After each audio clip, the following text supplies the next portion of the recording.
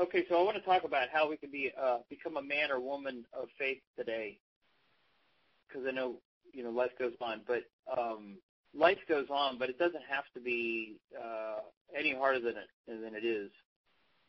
Um, peace, the peace we have in God, the peace that transcends all understanding, is can never be uh, overrated, never.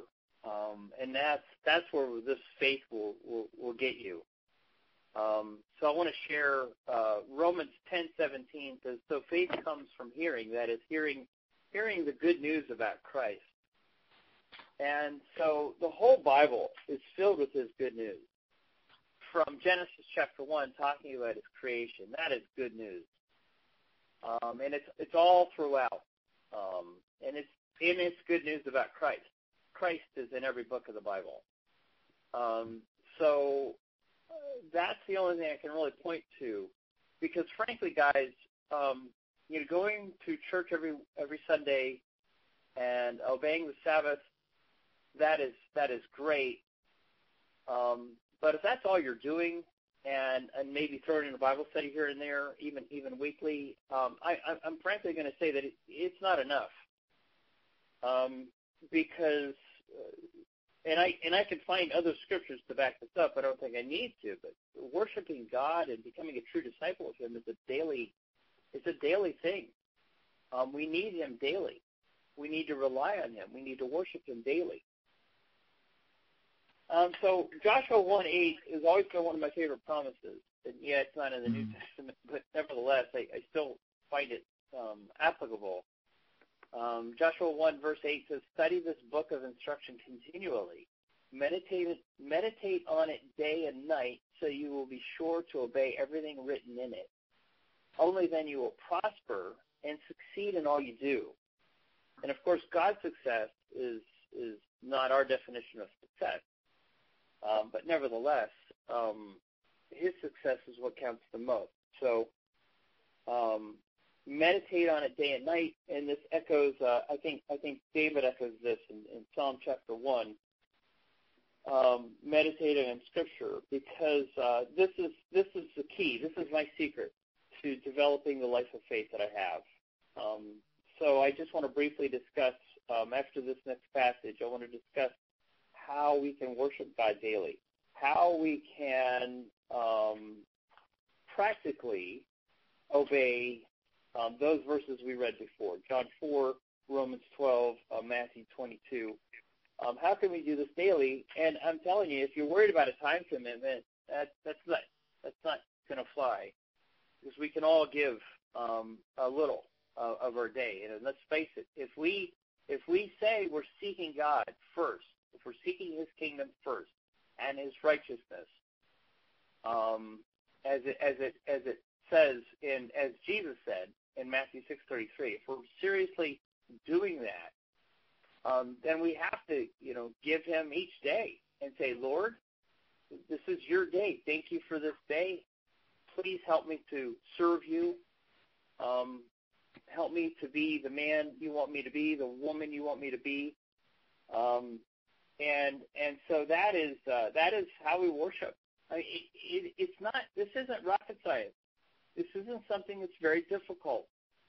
And you pray with whatever's on your heart. Let me let me share something. If you're not used to reading every day, if you're not used to praying every day, first of all, it's difficult to develop the habit, and that's why we need fellowship. We need to fellowship with people that love God more than us when you when you start because when you're not used to reading every day, when you're not used to praying every day, it's difficult. So let's at least talk with people that love the Lord and have been there, uh, you know, at it longer than us, so that so that they can help us do this. Because that's what discipleship is all about. That's what real discipleship is. That many churches just don't get today. Because a pastor can't disciple every member of his congregation. So there's there's something broken in many churches. Some churches, I suppose, do it right, but nevertheless, discipleship is just one on one. It's it, it's the one that's followed God longer, and that can say, you know, you just just you know, if you fall, just get up and, and, and keep going, and keep praying. So if you miss a day of prayer, you know that's you know just try, do again tomorrow. He wants your best. And if you're living a life like I was, that was no discipline whatsoever, there's hope for you. Because if he can do it in me, I know he can do it in anyone. So um, we need to make a concerted effort, a seriousness, to to spend time with those that have followed God longer than us.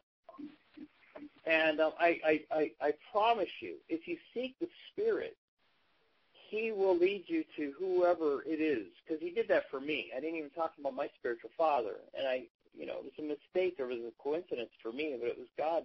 God ordained our meeting. He He held the Bible in high regard. I, you know, everything, you know, much of what I learned, I learned from him. He'd been seeking God 30 years before me. He was he was 68. I was 38. Um, so that was a key relationship for me. And he passed that baton to me. The passion he had for Scripture, the passion he had for Jesus, he gave to me. And so um, we all need that if we're just getting started in a, in a walk of faith. And uh, on Monday nights we meet, we talk about the Bible every week. So whoever's listening to that can join us on Monday night. Um, so let's face it, the Lord made it clear to me, and I'm not going to get into that today, but the Lord made it clear to me that there's three activities that we have to pursue to be on His path. Three activities, and it's very basic. We need to be in prayer, we need to be in the Word of God, and we need to be in fellowship. And if we focus on these three activities on a weekly basis, on a regular basis, we'll stay on His path. We'll keep growing, because this is about renewing our mind. Remember, it talks about in Romans 12, renewing our mind with His ways and His words, and and um, and worshiping in truth and in spirit. So we need the prayer because we need to pray to say, God, open my heart, open my eyes to Your words.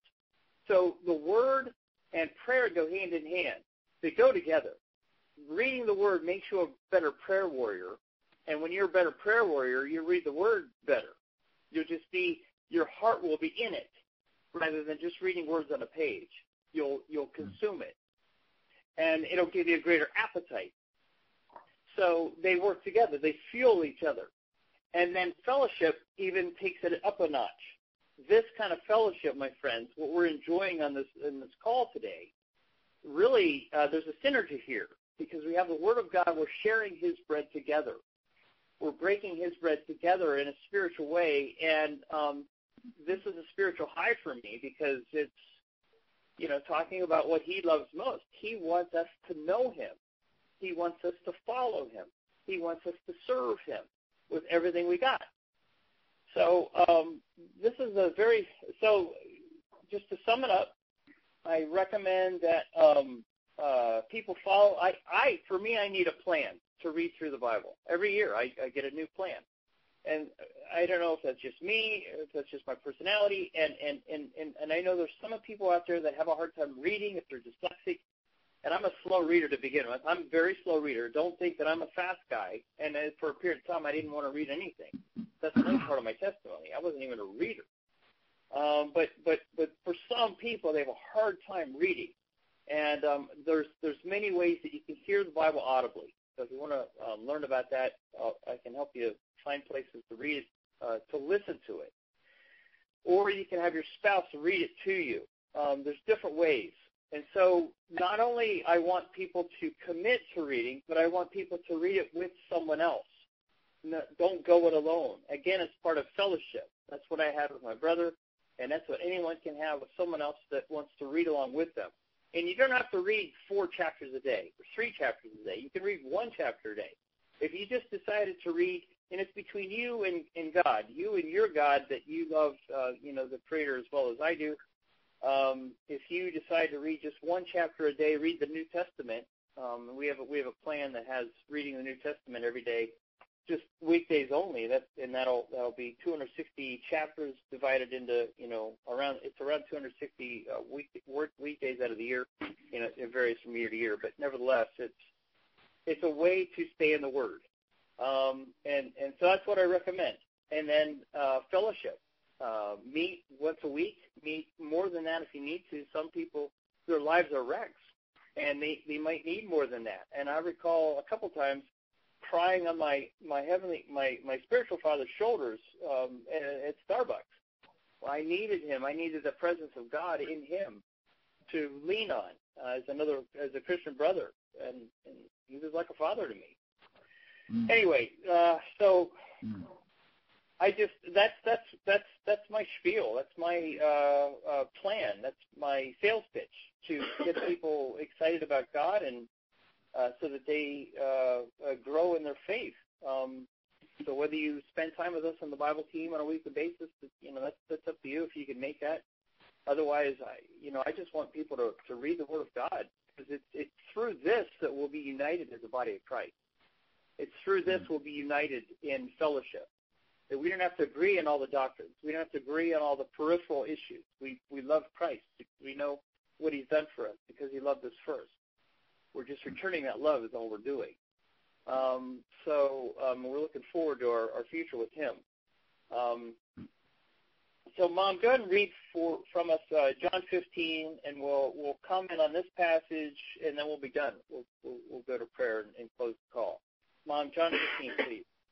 John 15, 5 through 8. Yes, I am the vine, you are the branches. Those who remain in me and I in them will produce much fruit. For apart from me, you can do nothing. Anyone who does not remain in me is thrown away like a useless branch and withers. Such branches are gathered into a pile to be burned. But if you remain in me and my words remain in you, you may ask for anything you want, and I will, it will be granted. When you produce much fruit, you are my true disciples. This brings great glory to my Father. Okay, here's here's I'll give you I'll give you a, a brief comment on this, and then I'll open it up for uh, comments, uh, other thoughts, and then we'll close in prayer. But I just want to quickly say this passage is both sobering and it's also um, great news for me when I read it. it says, "When you produce much fruit, you are my true disciples." And and what we've talked about today is about is about becoming a true disciple. And remember, it's simple. This isn't something you don't have to go to divinity school. You don't have to go, you know, master in theology. You don't have to become a monk. You don't have to, to sign up, you know, for any special uh, class or program in any kind of church and and and be a a, a a good boy and whatever denomination that you, you subscribe to. This is about a relationship between you and your God. And um, this is a personal thing that you need to work out for yourself. At at the end of your life, when you look back on it and you think, you know, what did I really give? How did I respond? Was I responsible with the faith that God gave me. If you gave your life to God at a certain point in time, this is about um, uh, remaining in Him. This is about um, uh, working out your salvation. Uh, this is about being a servant of the Most High God. And so, you know, when I read those stories in the Old Testament, uh, which I take very seriously, I, I, I take it as a, it, I, I like play it like a movie in my head because I believe it actually happened. When I read about Gideon, who was the, the least of his father's family and, and, and, and, and not a prominent family, um, he was called a mighty warrior. And guys, I I take that seriously, and not a warrior in a physical sense. He was a warrior in a physical sense, but we're warriors in Christ. We are hmm. victorious, and He wants us to participate. He wants us. You know, I, I think about Isaiah in, in, in chapter six of Isaiah. He says, "Here I am, Lord." God wants people to step up and become committed to Him. And I want to see people stepping up and becoming committed to Him. Ordinary people. I'm not calling people to seminary. I'm not calling people to become pastors. I'm calling people to be warriors and servants of the Lord Most High so that the Lord will be known, so that people will know the Lord today. People will know how great He is because of what He's done for me an ordinary guy giving me the passion I have and, and teaching me all these things throughout Scripture, I want to see that in other people's lives. That's really what's going to set the body of Christ on fire. Is is is them applying themselves as and presenting themselves as holy and living sacrifices to the Lord. That is what's going to uh, turn people's eye and say Greg Carmick is not the same guy he once was. And I knew Ken Souter long ago, but he's he's nowhere near like like I knew the Ken Souter. And so um, I, I want people's heads to be turned and say, you know, their God is real. And we see this all throughout Scripture. God getting people's attention to to come along with Him, to join Him in His great master plan to reconcile others. It's that ambassador role that that's mentioned in Second Corinthians five.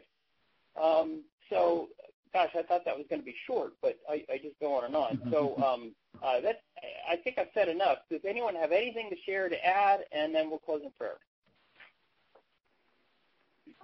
Just listening, um, it came uh, to me that uh, I have a personal mentor uh, from a business standpoint, um, and he's really big on what's called a 21-day challenge. I don't know if anybody's heard of that.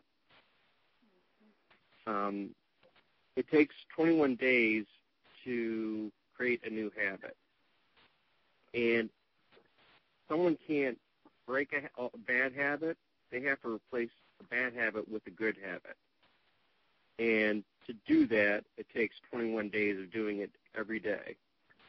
Um, just listening through uh, the last 15 minutes, um, I, I came up with uh, five actionable items that I'm going to work on.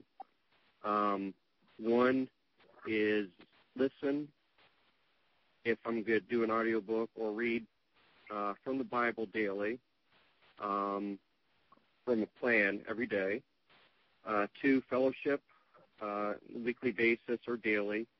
Uh, you said it was discipleship. Um, basically, uh, check in with a mentor, someone who's farther along the path than I am and it, it provides uh, accountability. Uh, number three is pray and talk to God every day.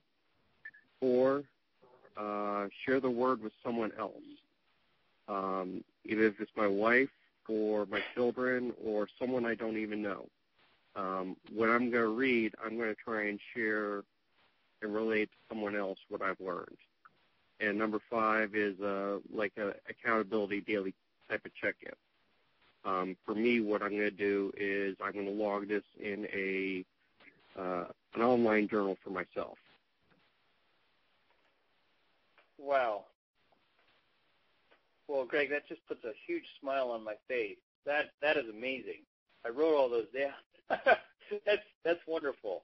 Um, you know, it's it's amazing. Uh, God can give us many things, I, and I've learned through um, business studies. Um, uh, uh, well, not business studies, but I've learned from the business world uh, also things that I can apply spiritually, practical mm-hmm. things like you're talking about. So I really appreciate that, Greg. Thank you mm-hmm. for sharing that. I think a 21-day challenge, I think it's a great idea. Uh, challenge ourselves mm-hmm. for 21 days and develop that habit because that's really what we're talking about doing. And do it with someone else because that way you have that built-in accountability and, and, and, and you do it in a, in a good way. I've seen accountability uh, systems where you know people beat each other up, but it's not about that. It's about encouraging each other to get in the Word and just just sticking with it. Because I wasn't reading every day. That first year, I wasn't reading every day. Um, that's what we're we're. I you know I used to be tempted to read ahead, or just to fall back and, and catch up. And um, um, it took me a while. It took me a, a long while before it was it was into that second year that I really became every day. Um, so I, I love all that you said, Greg. Thank you. Um, I think Ken, you were going to say something. Uh, yeah, I I just want to praise the Lord that um, God got me into a daily Bible reading um, with my wife when we first got married. Um, so it's been probably 15 years now. We've been reading through the Word of God every single morning, unless there's some major thing that gets in the way. But um, it's just been a real blessing and it's certainly helped us to grow tremendously and opportunity to uh, share with my wife every morning. Um, the other thing I did is I prayed a prayer just that I just said, Lord, I want you to enlarge my territory. What would you have me to do? I'm a regular guy, but as you said, we're just normal, ordinary people. I'm not a scholar. I'm not a seminary graduate. I'm none of those things. But the story of Gideon just really spoke to my heart. How he is used of God. And um, you know, God showed me that we're in a warfare right here. This is the church militant right now.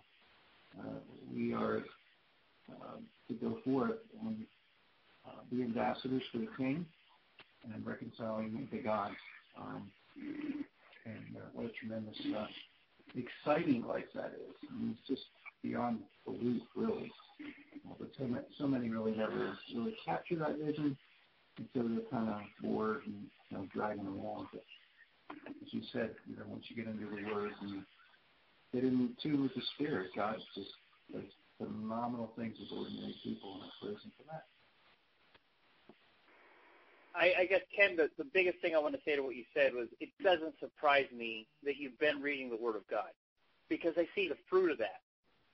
So that it, it, I'm not surprised one ounce that you share that, and that's your testimony. He's changed you because of that, and um, and you have that that testimony to share. So thank you for that. Thank you. Yeah, what I wanted to say is um, I don't I don't have these um, particularly memorized well, uh, but um, the Bible gives several examples of people who were called um, in very ordinary uh, positions um, and who God simply called because in spite of their ordinary position, they just had a passion. Uh, Jesus saw the, the passion that they had for him, and I, I think Amos might have been an example because Amos was just a shepherd. And then I think Ezekiel was just kind of hanging out with other people in Babylon, but he probably had a stronger heart for God than most of the others, and God ch- chose him from that. It wasn't that they were necessarily greatly trained. In the case of someone who was greatly trained, uh, you look at the Apostle Paul, he was brilliant, but he was very much trained in something opposing Christianity. So yes, uh, God did use Paul's intellect and his and his learning, but he also changed Paul's entire worldview. So God is not bound by a relative lack of of um, natural gifts. He just he just wants to look for people who who love him and want to know him better. Sadly to say, that's a rarity enough by itself. Amen, Andy. Very, very thoughtful uh, comments. I appreciate that. So it, it, come as you are, not not based upon what you already know. Um, come because you love God, and He'll He'll uh, lead you accordingly. Um, any other thoughts or comments before we close? Um, it, kind of struck me that uh, we were both in the Marine Corps Reserve, and uh, basically what uh, synopsis of what you had said can't be really a weekend warrior for God. Uh, you can't do it on once a week, one or two days. You mm-hmm. got to do it every day. Um, Amen. It, it it just it just struck me. Sorry. Yeah, no, no, no. That's you're you're exactly right.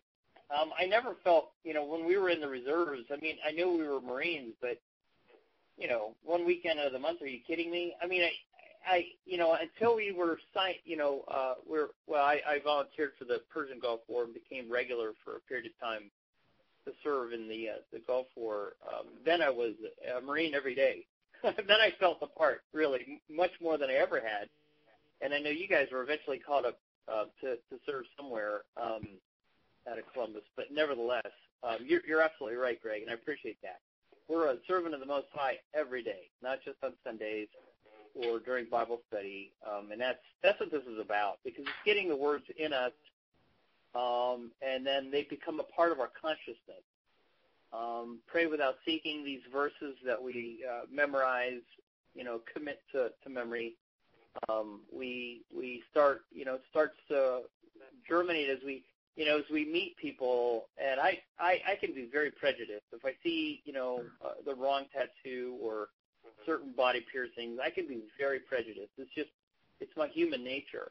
And so um, I love the verses. I think there's one in again. In, it's Romans 12 when Paul says to uh, treat others as better than you are. Um, that that really uh, speaks to my spirit. So I, that's just a real practical thing, of course.